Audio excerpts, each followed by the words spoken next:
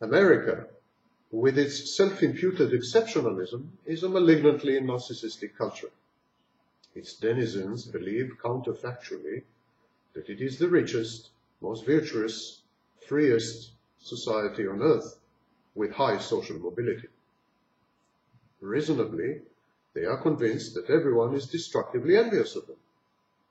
This renders them paranoid and violent. An early and observant traveler, Alexis de Tocqueville, noted this siege mentality and warned that the United States is walking a thin line between freedom and authoritarianism.